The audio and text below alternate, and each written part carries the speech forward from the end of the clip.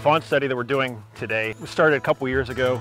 Uh, sportsmen had expressed concern over fawn predation. Uh, a lot of news stories coming out of the southeastern part of the United States uh, involving coyote predation on white-tailed deer. Uh, we've seen populations of predators uh, expanding in Pennsylvania in the last decade and a half uh, since we've done the last fawn study.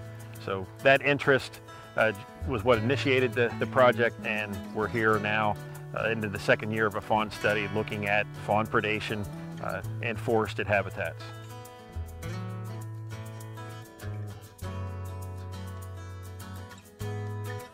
We have two study areas. In the northern study area, we have uh, five uh, bio aides that we've hired specifically to look for fawns, and then we have a sixth person that is a, uh, a crew leader. In the southern study area, we have we hired four people, and a fifth one is a, is a crew leader. Most of the births are going to take place between May 24th to June 7th. That's our best window of opportunity. In the southern study area, the thing that we'll have them do is to search agricultural fields. Uh, just places where the fawns would have been born. We'll go in and search those fields just by foot, covering as much area as we can, and try to find them before they can outrun us.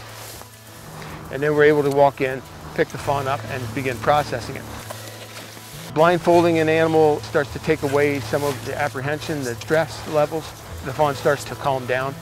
So we'll put a blindfold on, we'll weigh the animal in a bag, then we'll put uh, ear tags on, and then we'll put a small transmitter on. That small transmitter is, is a, a, a collar that has elastic on the belting. Uh, the stitching on one of the loops will break down and release, making it a little bit bigger. A little bit later, there'll be another loop that breaks loose and makes it a little bit bigger. So we'll be able to keep a lot of these collars on up through, at least through a six months of life, through the end of the intensive period when we want to monitor the survival of these animals.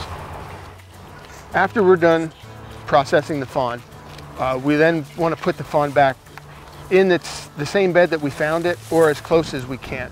So we'll take the fawn back, try to tuck its legs underneath it, get it to bed down, and then we will leave very quickly.